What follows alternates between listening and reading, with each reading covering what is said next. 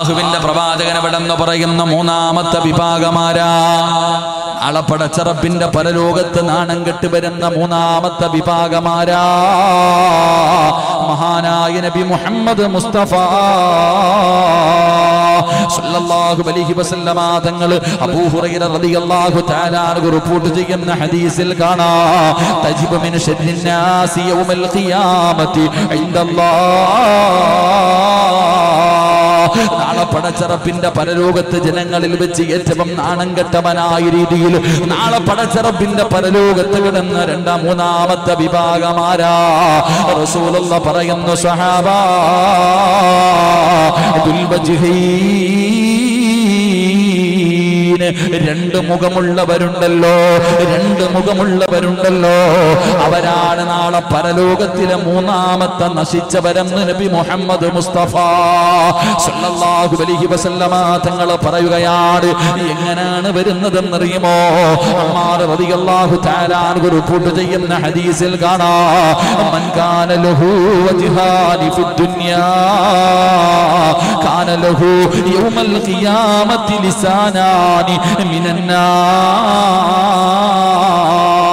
നാളെ പടച്ചറപ്പിന്റെ പരലോകത്ത് ജനകോടികൾ മുഴുവനും നിൽക്കുന്ന ദിവസമുണ്ടല്ലോ. ആ ദിവസത്തിൽ പടച്ചവരെ ഒരു നശിച്ചവൻ വരികയാ ഒരു വൃത്തികെട്ടവൻ വരികയാ. അവന്റെ നാവുണ്ടല്ലോ. രണ്ട് നാവുകളാ. അവന്റെ നാവുകൾ ഇങ്ങനെ വലിച്ചു കീറിയിട്ടുണ്ട്. അവന് രണ്ട് നാവാണുള്ളത്. തീയാലുള്ള നാവാ. തീയാലുള്ള നാവുമായി പിടിച്ച് അട്ടകസിച്ചുകൊണ്ട് നാളെ പടച്ചറപ്പിന്റെ പരലോകത്തേക്ക് ഒരു വിഭാഗം കടന്നു വരുമെന്ന് നബി മുഹമ്മദ് മുസ്തഫ സല്ലല്ലാഹു അലൈഹി വസല്ലമ തങ്ങൾ പറയുമ്പോ എന്റെ ചെറുപ്പക്കാരാവെന്ന് ചിന്തിച്ച് നോക്കടാ പൊന്നുമോര് ഉമ്മ അടുക്കളയിൽ നിന്ന് നിനക്ക് ചായ വെച്ച് കൊണ്ട് തരുമല്ലോ. ആ ചായ കൊണ്ട് വരുമ്പോ ആ ചായയിൽ നിന്നൊരല്പമെങ്ങാണം നിന്റെ ശരീരത്ത് വീണാൽ ആ ഗ്ലാസ്സിൽ നീ ഒന്ന് പിടിച്ചാ നിന്റെ കൈവെള്ളമല്ലോ അടുപ്പിൽ പടച്ചവനെ അതാ ചൂട് വെക്കുകയാണ് കറി വെക്കുകയാണ് അതിന്റെ മുകളിൽ ഒരു അടപ്പ് വെച്ച് അടച്ചു വെച്ചിട്ടുണ്ട്. അതെങ്ങാണമെന്ന് കൈകൊണ്ടൊന്ന് നീക്കുമ്പോ അടുക്കളയിൽ നിന്ന് വിളിച്ചു കൂവുന്ന ഉമ്മ എങ്കിൽ നാളെ പടച്ചറപ്പേ ഈ ദുനിയാവിലെ തീയക്കാൽ എഴുപതിരട്ടി പവറുള്ള നരകത്തിന്റെ തീയാലുള്ള നാവുമായി മുഖത്തുള്ള മാംസങ്ങൾ മുഴുവനും ഇങ്ങനെ ബന്ധുരുകുകയാണ് മുഖത്തുള്ള മാംസങ്ങൾ മുഴുവനും പടച്ചവരെ ബന്ധുരുകുന്ന രീതിയിൽ പുഴുത്തു നാറി നാളെ പടച്ചറപ്പിന്റെ കോടതിയിൽ കടന്നു വരുന്ന മൂന്നാമത്തെ വിഭാഗമാരെന്നറിയുമോ? രണ്ട് മുഖമുള്ളവരാ. പടച്ചവനെ കാണുമ്പോൾ കയ്യിൽ പിടിച്ചിട്ട് പറയും പടച്ചവനെ വല്ലാത്ത സ്നേഹപ്രകടനങ്ങളാണ്. പടച്ചവനെ കാണുമ്പോ അങ്ങനെയാണ് ഇങ്ങനെയാണ് വല്ലാത്ത അഭിനയമാണ്. വലിയ സ്നേഹമുള്ളവനെ പോലെ വലിയ ഈമാനുള്ളവനെ പോലെ ആത്മാർത്ഥതയുള്ളവനെ പോലെ കാണുമ്പോ പടച്ചവനെ വലിയ സന്തോഷമാണ്. പക്ഷേ അങ്ങോട്ട് തിരിഞ്ഞു കഴിഞ്ഞ ഈ പറഞ്ഞതിന്റെ നേരെ എതിരാ. അവിടെയും നിൽക്കും ഇവിടെയും നിൽക്കും. എന്നിട്ട് പടച്ചവനെ ഇടയിൽ കടന്നുകൊണ്ട് അങ്ങോട്ടും ഇങ്ങോട്ടും ഓരോന്ന് പറഞ്ഞു. തമ്മിലടിപ്പിക്കുന്ന സ്വഭാവമുള്ളവരുണ്ടല്ലോ.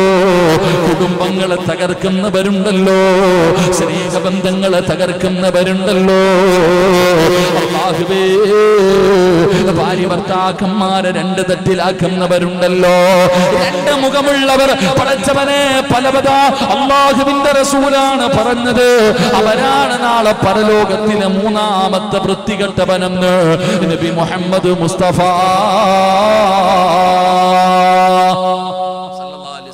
അങ്ങനെ ചില ആൾക്കാരുണ്ട്. എന്നിട്ട് കാണുമ്പോൾ പറയും എന്റെ പൊന്നാർ അബൂബക്കർ ഹാജിയാരെ നിങ്ങൾ ആരാ പടച്ചോനെ നിങ്ങൾ വലിയ ഹാജിയാരല്ലേ നല്ല മനുഷ്യനല്ലേ പള്ളിക്ക് കൊടുത്തില്ലേ മദ്രസയ്ക്ക് കൊടുത്തില്ലേ? അള്ളാഹുബെ പടച്ചവനെ. അങ്ങോട്ട് മാറിയിട്ട് പറയും മുതുകള്ളൻ അഞ്ച് പൈസ കൊടുക്കത്തില്ല. ഇവനെക്കാലും നക്കിയുണ്ടോ? ഇവ എന്തിനാ ഹജ്ജിന് പോയ? പടച്ചവൻ ഇവന് ചത്താ മതിയായിരുന്നു.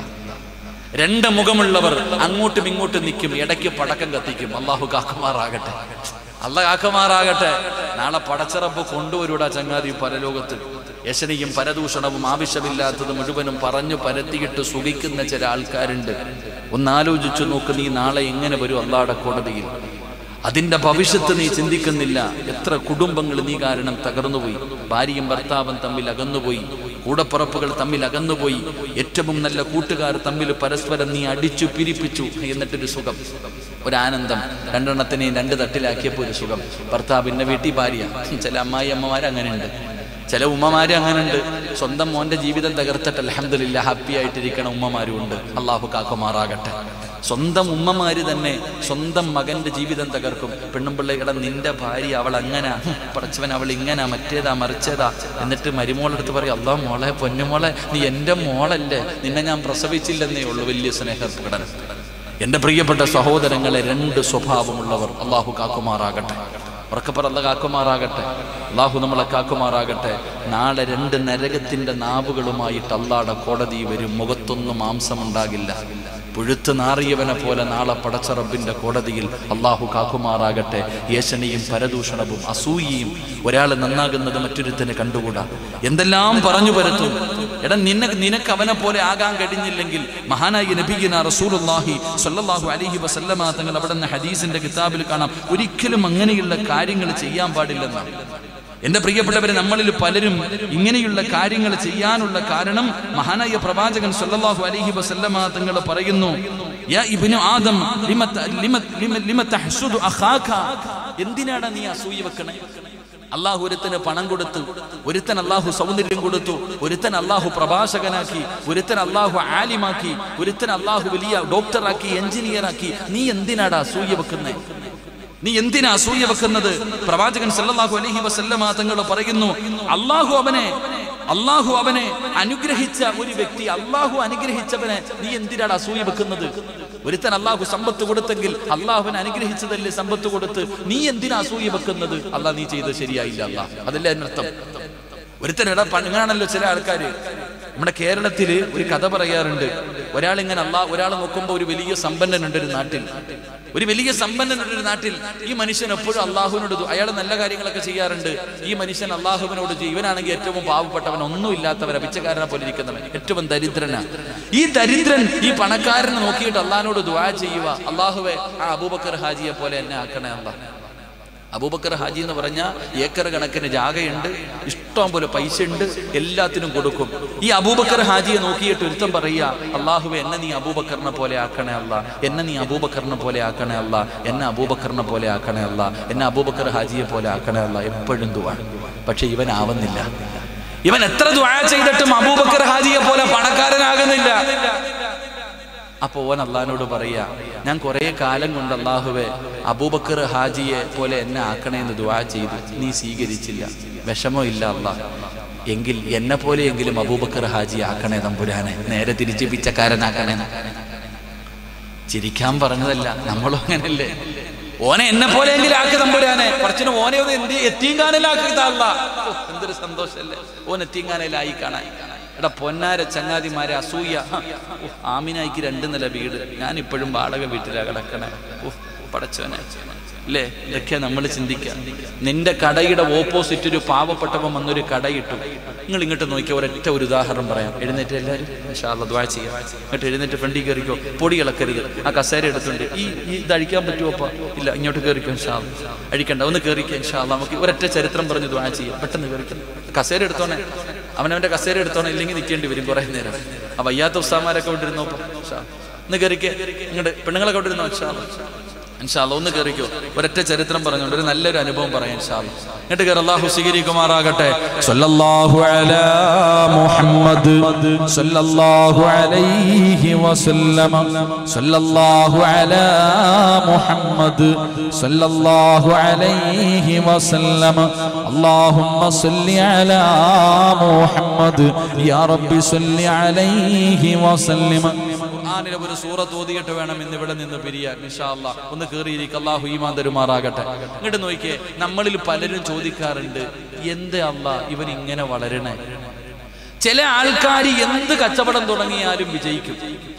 എന്നാൽ അതേ കച്ചവടം നടത്തുന്ന എത്ര കച്ചവടക്കാരുണ്ടെങ്കിലും അവർക്ക് പൈസ ഇല്ലെങ്കിലും ഒരുത്തിന് നല്ല കച്ചവടം ഉണ്ടാകും. ചിലപ്പോൾ അവൻ പള്ളിയിലും വരത്തില്ല നിസ്കരിക്കാറണമെന്നില്ല.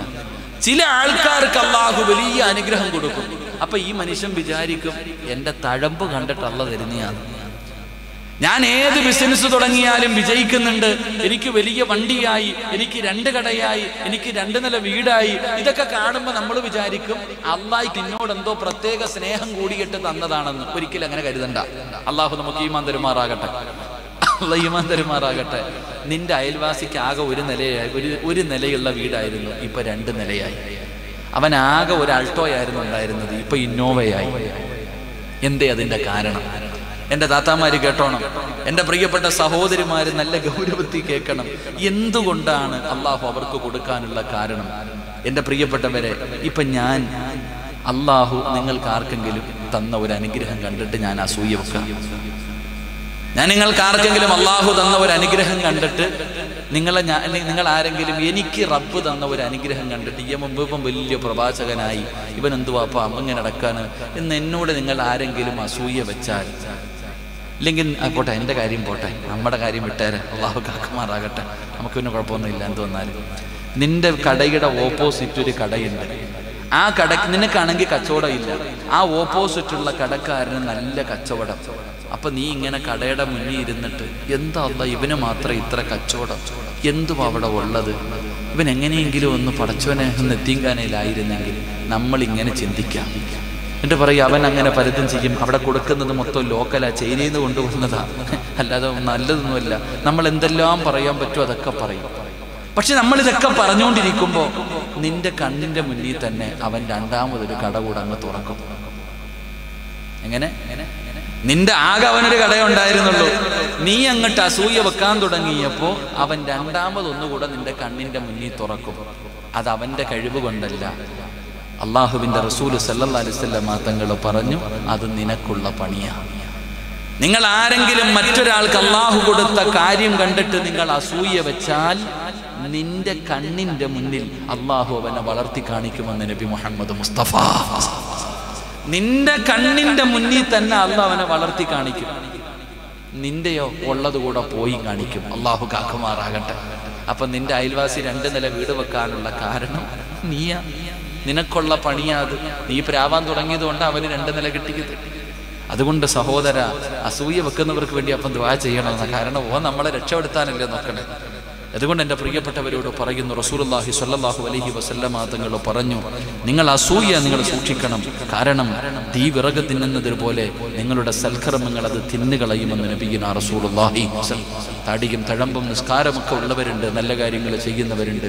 പള്ളി വരെ നമസ്കരിക്കാൻ വേച്ച് വേച്ച് നടന്നു വരുന്ന വാപ്പ സങ്കടം തോന്നും. ചുമച്ച് ചുമച്ച് നടക്കാൻ കഴിയാതെ വളരെ പ്രയാസപ്പെട്ട് പള്ളി വരും നിസ്കരിക്കും. നിസ്കാരം കഴിഞ്ഞിട്ട് എല്ലാവരും ഇറങ്ങിപ്പോകുമ്പോൾ പള്ളിയുടെ പടിയിൽ പോയിരുന്നിട്ട് ഹത്തീബിന്റെ ഇറച്ചി തിന്നും. അള്ളാഹു കാക്കുമാറാകട്ടെ. ആ വാപ്പ പള്ളി വരുന്ന കണ്ട സങ്കടം തോന്നും. വെള്ളിയാഴ്ച ദിവസം പതിനൊന്ന് മണിക്ക് പള്ളി വന്നിരിക്കും ചില വാപ്പമാർ ചില ഉപ്പമാര് പള്ളി പതിനൊന്ന് മണിക്ക് വന്നു അള്ളാഹു ഒട്ടകത്തറുത്ത പ്രതിഫലം കിട്ടാൻ വരുന്നയാ. അവസാനം ഇറങ്ങിപ്പോകുമ്പോ നരകത്തിയിലെ വിറകും മേടിച്ചിട്ടാ പോണേ.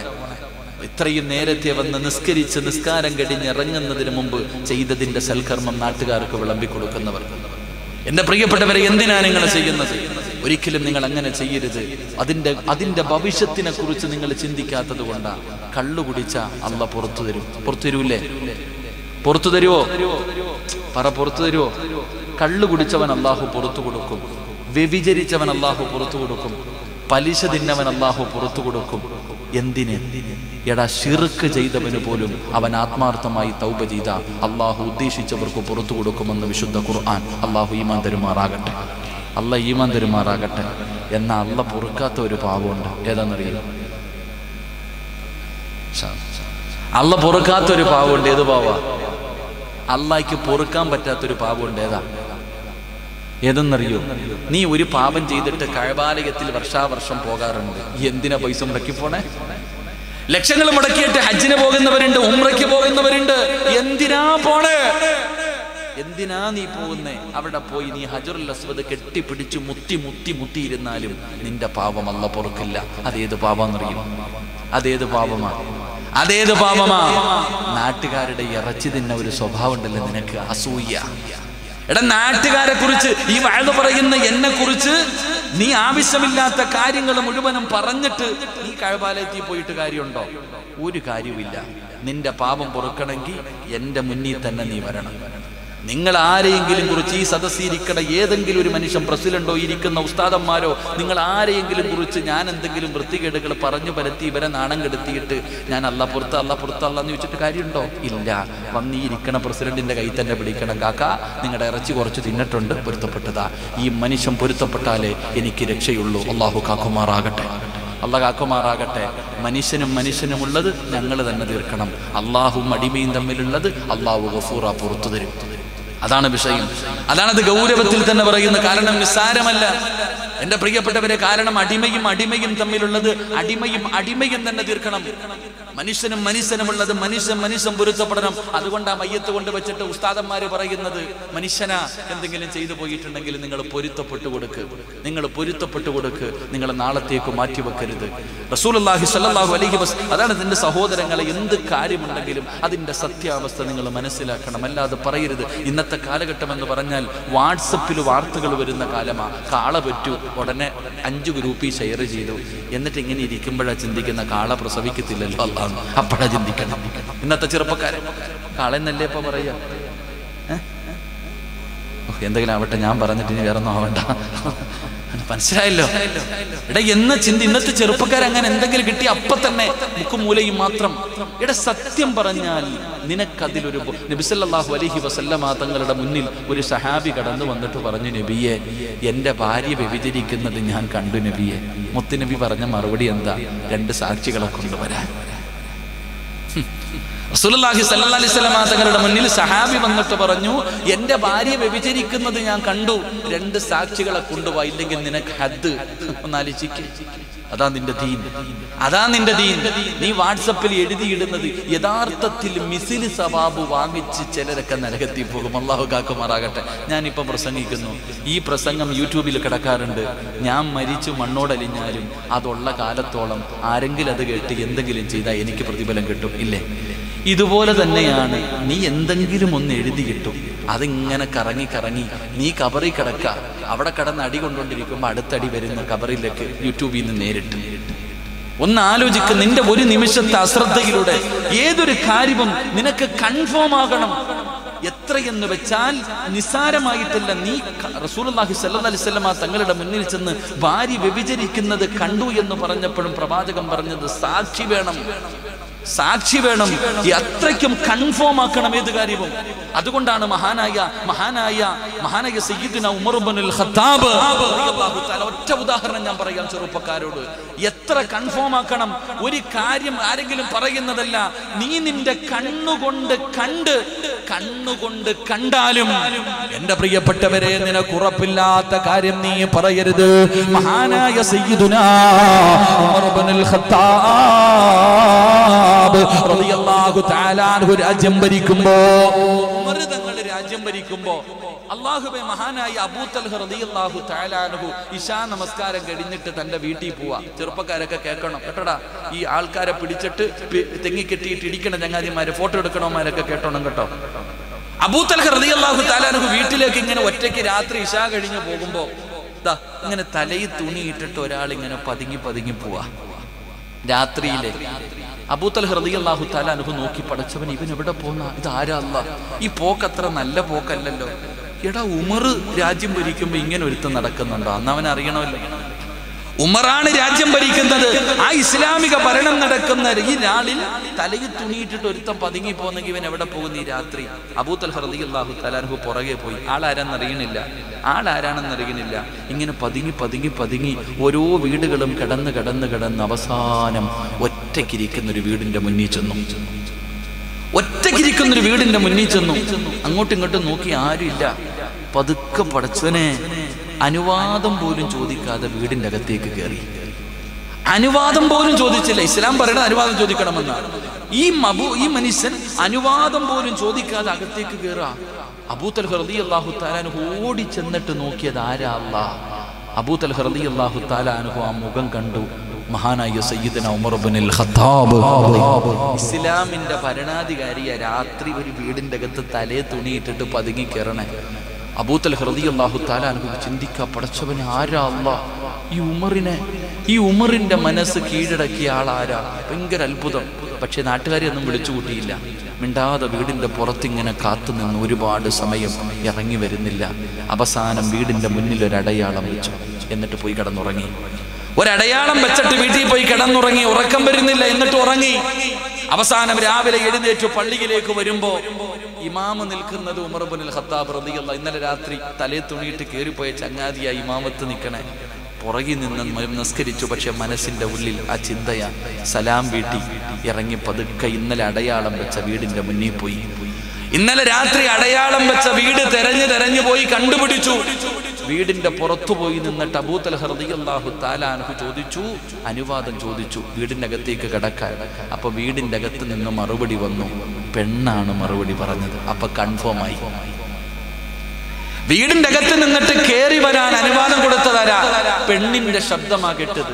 അപ്പൊ അതിനകത്ത് പെണ്ണാണെന്ന് ഉറപ്പായി. എന്നിട്ട് അബൂത്തൽ ഹർദി അള്ളാഹു താലാനുഹു തിരിച്ചു പോയില്ല. ഇനിയും കൺഫേം ആക്കണം. ആ വീടിന്റെ അകത്ത് വേറെ ആരെങ്കിലും ഉണ്ടോ? എന്തേ ഉമർതങ്ങൾ കയറിയത് വീടിന്റെ അകത്ത് കയറി നോക്കുമ്പോൾ ഒരു പട് കിളവി. എല്ലും തോരുമായി കിടക്കുന്ന ഒരു ഉമ്മ. ആ ഉമ്മാന്റെ അടുക്ക പോയി ചോദിച്ചു ഉമ്മ ഇന്നലെ രാത്രി ഒരു ചെറുപ്പക്കാരൻ ഇവിടെ വന്നല്ലോ. എന്തേ ഉമ്മ? മോനെ എല്ലാ ദിവസവും വരും. എന്നെ കുളിപ്പിക്കും എന്റെ മൂത്രവും കാഷ്ടവും കഴുകും എന്റെ വസ്ത്രം കഴുകും. എനിക്ക് ഭക്ഷണം വെച്ചിട്ട് ചവയ്ക്കാൻ പല്ലില്ലാത്തത് കാരണം ആ മനുഷ്യൻ തന്നെ വായിൽ ചവച്ചരച്ചിട്ട് എനിക്ക് വാരിത്തരും. അവിടെ നിന്ന് ചോദിച്ചു ആരാണെന്നറിയൂ ഉമ്മ? പേര് പറഞ്ഞിട്ടില്ല മോനെ. എത്ര ചോദിച്ചിട്ടും പേര് പറയുന്നില്ല.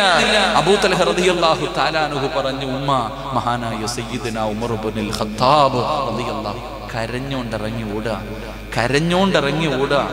ഓടി ചെന്ന് ഉമർ ഇബ്നുൽ ഖത്താബ് തങ്ങളെ കെട്ടിപ്പിടിച്ചിട്ട് പറഞ്ഞു എനിക്ക് പൊരുത്തപ്പെട്ട് തരണം. ഞാൻ നിങ്ങളെ കുറിച്ച് തെറ്റിദ്ധരിച്ചു. തെറ്റിദ്ധാരണ തിരുത്തണം. അത് ഷിറുക്കാണെന്ന് നബി മുഹമ്മദ് മുസ്തഫ. തെറ്റിദ്ധാരണയുണ്ടെങ്കിൽ അത് തിരുത്തിക്കൊള്ളണം. തെറ്റിദ്ധാരണയുണ്ടെങ്കിൽ ആ തെറ്റിദ്ധാരണ തിരുത്തുക തന്നെ വേണം. നിങ്ങൾക്ക് ആർക്കെങ്കിലും എന്തെങ്കിലും സംശയമുണ്ടെങ്കിൽ ആ സംശയം ആ വ്യക്തിയോട് ചോദിച്ച് നിങ്ങൾ തിരുത്തണം. അല്ലാതെ മനസ്സിൽ കൊണ്ട് നടക്കുന്നത് വലിയ പാപങ്ങളിൽ എഴുപത് വൻപാപങ്ങൾ എണ്ണിയതിൽ ഒരു പാപമാണ് തെറ്റിദ്ധാരണ മനസ്സിൽ കൊണ്ട് നടക്കുന്നത്. അള്ളാഹു കാക്കുമാറാകട്ടെ.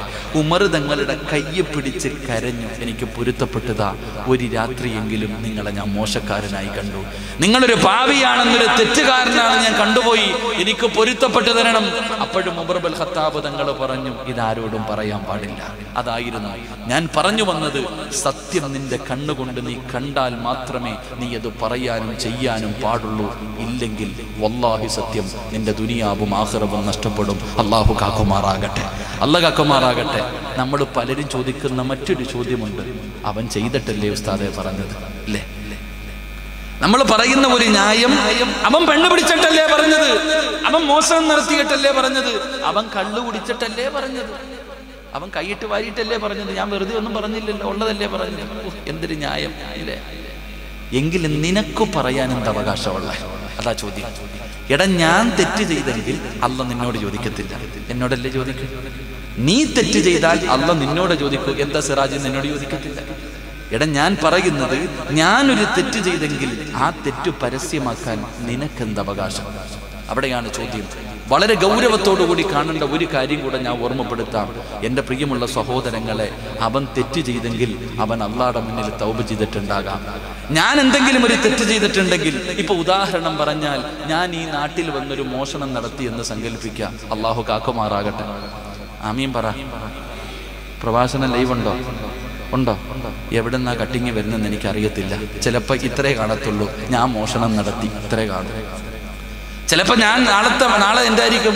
ഇതിനെങ്ങനെ കാണത്തുള്ളൂ? സിറാജ് ഉസ്താദ് മോഷണം നടത്തി. ഞാൻ തന്നെ പറയല്ലേ മോഷണം നടത്തിയെന്ന്. ബാക്കി മുമ്പും ശേഷമൊന്നും ആർക്കും കേൾക്കണ്ട. അത് അള്ളാഹുവിന് മാത്രം അറിഞ്ഞാൽ മതി. അള്ളാഹു കാക്കുമാറാകട്ടെ. കാക്കുമാറാകട്ടെ നമുക്ക് പിന്നെ ഇതൊക്കെ ശീലമല്ലേ? അപ്പൊ നമ്മൾ പഴത്തിറങ്ങിയെന്ന് പറഞ്ഞാൽ എങ്ങനെയെങ്കിലും സ്വർഗത്തിൽ പോകാൻ വേണ്ടി ഞാൻ ജീവിക്കണേ. കുറച്ച് പേര് പറയുന്നു എന്റെത് കൂടെ തരാന്ന്. ഞാൻ എന്തിനാ വേണ്ടാന്ന് പറയണേ? രണ്ട് കൈയും നീട്ടി സ്വീകരിക്കും. അള്ളാഹു അവർക്ക് ആഫീസും ദീർഘായുസും കൊടുക്കുമാറാകട്ടെ. അത് നോ പ്രോബ്ലം അത് വിഷയമൊന്നുമല്ല അത് വിട്ടേരെ. ഞാൻ പറഞ്ഞത് ഞാൻ ഈ നാട്ടിൽ വന്നൊരു തെറ്റ് ചെയ്തു നിങ്ങൾ എല്ലാവരും അറിഞ്ഞു. ഞാൻ പോയി. അലഹമില്ല ഞാൻ വീട്ടിൽ പോയപ്പോൾ ഞാൻ ചിന്തിച്ചു അല്ല ഞാൻ ചെയ്തത് ശരിയായില്ല അല്ല. എനിക്ക് നീ പൊരുത്തപ്പെട്ട് തരണം പുറത്തു തരണം. ഞാൻ അള്ളായോട് തൗപ ചെയ്ത് പശ്ചാത്തപിച്ചു മടങ്ങി. പിന്നെ ഇവിടെ വന്നപ്പോൾ ഈ മദ്രസയുടെ മുമ്പിൽ നിന്നിട്ട് മൂന്നാൽ ചങ്ങാതിമാര് പറയാ തോണ്ടടാ പണ്ട് മോഷണം നടത്തിയവനാ. കഴിഞ്ഞ വർഷം ഇവിടെ വന്ന് മോട്ടിച്ചിട്ട് നാട്ടുകാർ തെങ്ങി കെട്ടിയിട്ടവൻ അതോ വരുന്നു എന്നെ കളിയാക്കുക ഞാൻ ചെയ്തല്ലേ പറഞ്ഞത്? ഞാൻ ചെയ്തല്ലേ പറഞ്ഞത്? ചെയ്യാത്തത് പറഞ്ഞോ? ഇല്ല.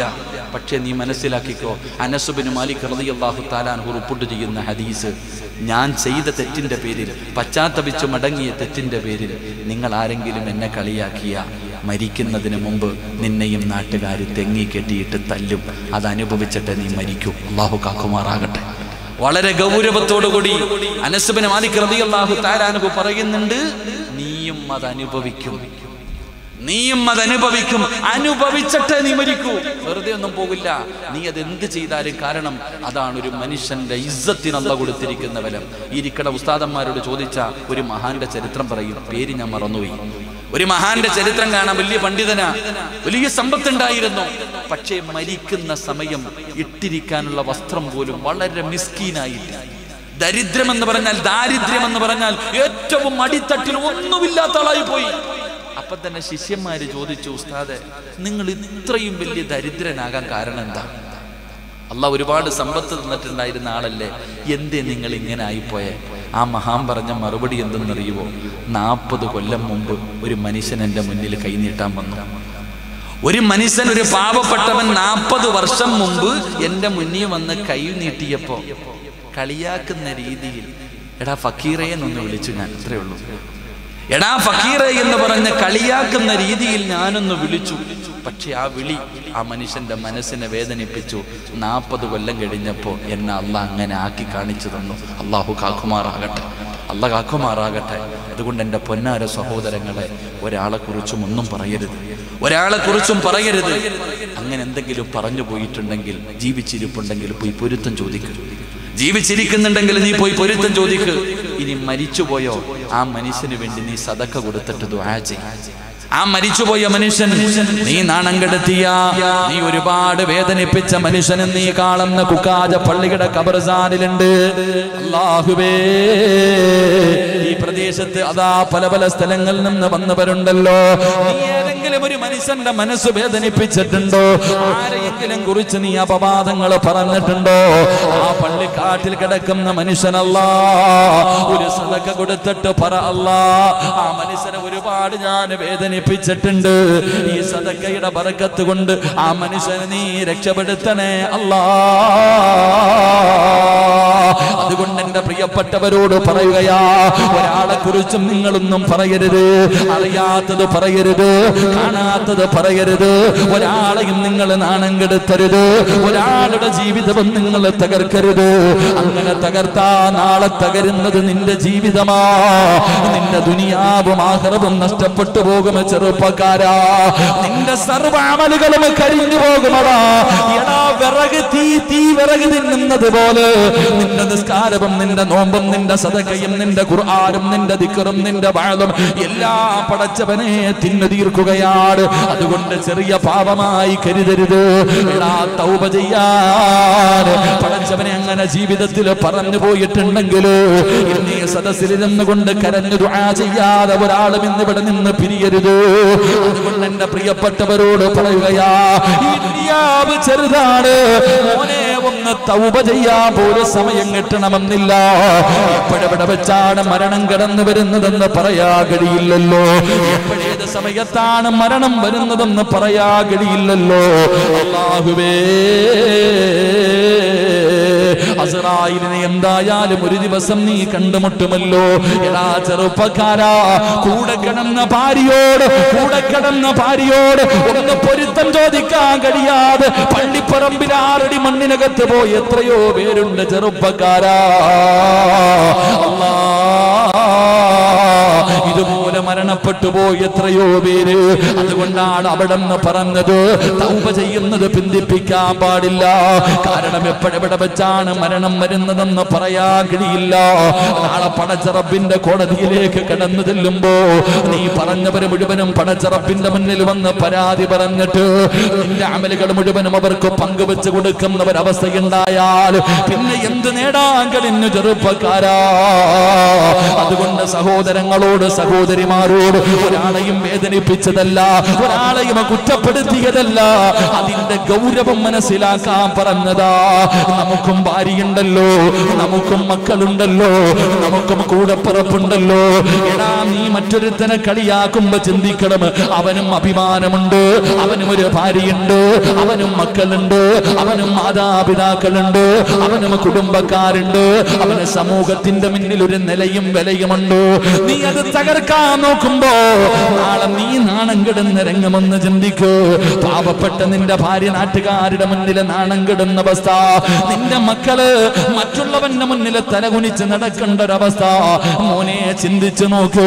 അത് വല്ലാത്ത പരിതാപകരമാ. ജീവിതത്തിൽ പരീക്ഷണങ്ങളും പ്രയാസങ്ങളും അനുഭവിച്ചോട് അങ്ങനെ അനുഭവിച്ചവരോട് ചോദിച്ചാൽ അറിയാം അതിന്റെ വേദന. അതുകൊണ്ട് എന്റെ പ്രിയപ്പെട്ടവരോട് ഓർമ്മപ്പെടുത്തുകയാണ്. രണ്ട് മുഖമുള്ളവരാകൽ രണ്ട് മുഖമുള്ളവരാകല്ലേ? ഒരു മുഖത്തോടെ ജീവിക്ക ചെറുപ്പക്കാരാ. എന്റെ പ്രിയപ്പെട്ട ഉമ്മമാരെ അള്ളാഹു മറ്റൊരുത്തര കൊടുത്ത അനുഗ്രഹം കണ്ടിട്ട് നീ അസൂയ വെക്കല്ലേ? നീ പരദൂഷണം പറയല്ലേ? നീ വൈരാഗ്യം വെക്കല്ലേ? മോശമായത് പറഞ്ഞു നടക്കല്ലേ? ഉമ്മ നീ അങ്ങനെ നടക്കുന്നവളാണെന്നല്ല ഞാൻ പറഞ്ഞത്. അങ്ങനെ ഒരു ദുശീലമുള്ള ആരെങ്കിലും ഉണ്ടെങ്കിൽ ഇന്ന് മുതൽ തിരുത്താ തയ്യാറായിക്കോ? ഇല്ലെങ്കിൽ നാളെ പടച്ചറപ്പിന്റെ കോടതിയിൽ നാണം കെട്ട് വരേണ്ടി വരുമെന്നാണ് ഓർമ്മപ്പെടുത്തുന്നത്. അള്ളാഹുവിന്റെ പ്രവാചകൻ അവിടെ നിന്ന് പറയുകയാണ് സഹാബാ നാളെ പടച്ചറപ്പിന്റെ ലോകത്ത് നാണം കെട്ട് വരുന്ന? നാണം കെട്ട് വരുന്ന? മൂന്നാമത്തെ വിഭാഗം ഏതെന്നറിയുമോ? ദുൽവജഹൈൻ രണ്ട് മുഖമുള്ളവരാണെന്ന് നബി മുഹമ്മദ് മുസ്തഫ. സല്ലല്ലാഹു അലൈഹി വസല്ലമ തങ്ങൾ പറയുമ്പോ അല്ലാഹുവേ അല്ലാഹുവേ ജീവിതത്തിൽ ആരുടെയെങ്കിലും മനസ്സ് വേദനിപ്പിച്ചിട്ടുണ്ടെങ്കിൽ നിന്റെ കരുണ കൊണ്ട് പുറത്തു തരവേ അല്ലാ അറിയാതെ ചെയ്തു പോയതാടല്ല പല അവസരങ്ങളിലും പെട്ടുപോയതാടല്ല അള്ളാഹുവേ നീ ഞങ്ങളെ ഞങ്ങൾക്ക് നീ പുറത്തു തരണേ തമ്പുരാന്. ഞങ്ങളൊരാളെ നാണം കെടുത്തിയതിന്റെ പേരിൽ ഞങ്ങളെ നീ നാണം കെടുത്തല്ലേ അല്ലാ? ആ വേദന ഞങ്ങൾക്ക് തരല്ലേ അല്ലാ? ആരുടെയെങ്കിലും മനസ്സ് വേദനിപ്പിച്ചിട്ടുണ്ട് അവർ മരണപ്പെട്ടു പോയിട്ടുണ്ടെങ്കിൽ അവരുടെ കബർ നീ സ്വർഗമാക്കണേ അല്ലാ. അവർക്ക് നീ പുറത്തു കൊടുക്കണേ അല്ലാ. അതുകൊണ്ട് നിർത്തുകയാണ് അതുകൊണ്ട് നിർത്തുകയാണ്.